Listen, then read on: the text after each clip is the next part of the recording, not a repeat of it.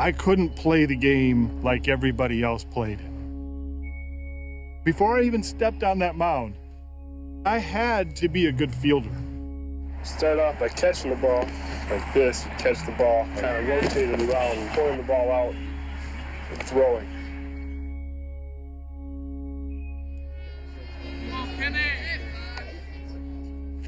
Wipe off the pitching rubber, fresh start, new beginning. Look in, get my sign. I put the glove in front of my body. I wanted to hide my grip. Worried about the third base coach, worried about the first base coach. The ball was always spinning in my hand until I got over my head. I reach back, my grip is set, eyes still on the target. Right back to the mound. He goes to second for one out. Throws to first, got him. Big play by Jim Abbott. The switch of that glove. How do you do that?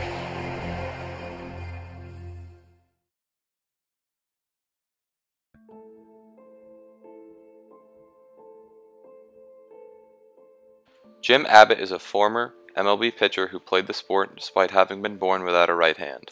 He was born and grew up in the East Village area of Flint, Michigan. Jim didn't let his disability get in the way of his life at a young age. I don't really remember it occurring to me that I had a disability. Um, I, I, probably became more apparent to me when I went to school, mixing in with other kids in a classroom and those environments, dealing with the, you know, the playground teasing and, the, and the, the questions and the awkward glances.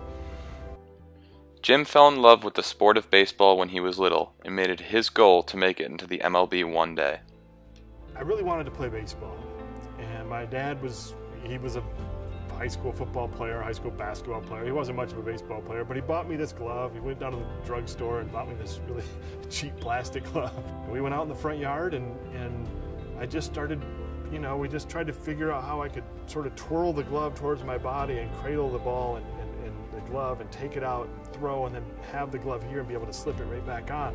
I spent a lot of time throwing a ball against a brick wall you know, and it would bounce off quickly, and I'd have to get the glove on quickly to field it, and then I'd do it again, and I'd do it again. I tried to get fast enough where I could fire it as hard as I could and catch it by the time it bounced back at me. He graduated from Flint Central High School as a superb pitcher and quarterback, and in the 36th round of the 1985 Major League Baseball draft, he was drafted by the Toronto Blue Jays, but did not sign and decided to play at the University of Michigan. For the three years he was at Michigan, Jim Abbott led them to two Big Ten championships, and in 1987 he won the James E. Sullivan Award as the top amateur athlete in the United States, becoming the first baseball player to win the award. In addition, baseball was a demonstration sport at the 1988 Summer Olympics, and Abbott pitched the final game, winning an unofficial gold medal for the United States.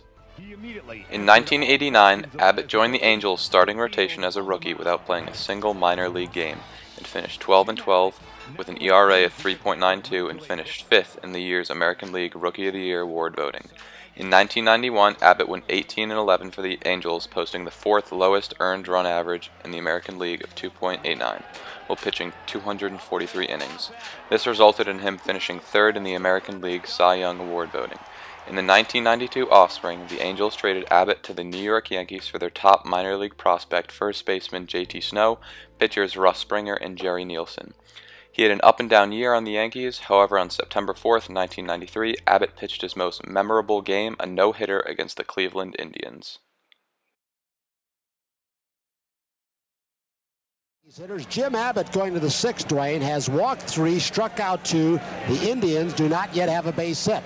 Four nothing Yankees. He's been very stingy with his pitches as well. 69 through five, so he's in good shape there. It was the top of the ninth inning, and the Yankees were up four runs to zero. Jim Abbott was pitching phenomenally, with no hits, no runs, and five walks with four strikeouts. The Yankees hold a four to nothing lead. And just to stress the overall importance of this game beyond the personal accomplishment of a no-hitter, Lee Smith is up in the Yankee bullpen just in case. Buck Showalter and Tony Cloninger are prepared. Meanwhile, Jim Abbott sent to go. Slides outside by inches. The one-two. And a bouncer over the head to Gallego. One out in the ninth. Gallego to Mattingly.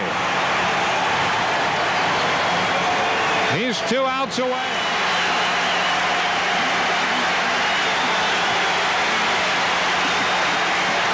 Abbott's pinch. Fly ball. Left center field. Long run. Bernie Williams. He's there. Outs in the ninth as Bernie Williams tracked it down into left center field.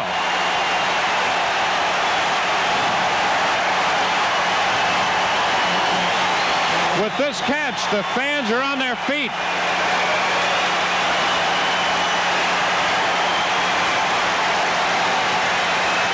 Two outs. Jim Abbott has a no-hitter. Two outs into the ninth. Indians have not had a man past first base. Baerga batting 318. And the ground ball to short. Velarde. He did it. He did it. No hitter for Jim Abbott. Jim Abbott throws a no hitter and shuts out the Cleveland Indians four to nothing. At every level, I remember having self doubt. I remember, you know, moments of uncertainty and not knowing if I could play at, at that particular level. And every time, it, there was always somebody there who told me that I could do it. it. It's just really hard to describe what the end of a no hitter is like. You know, that countdown of outs, um, the adrenaline excitement that you feel is is it enveloping. You know, you feel it in your legs and you feel it in your hands and your arms. And when you run out there in that ninth inning and you get on the mound in Yankee Stadium and the people are literally jumping up and down in the stands, and you see the umpire put his mask on, your catcher get down, it, it it's it, it overwhelms you. You know, and, and there is a certain amount of just letting it go, trusting your pitches, and and and, and knowing that that much of it is all you can control, and let's see what happens you know, just because you do things a little bit differently doesn't mean you can't do them just as well.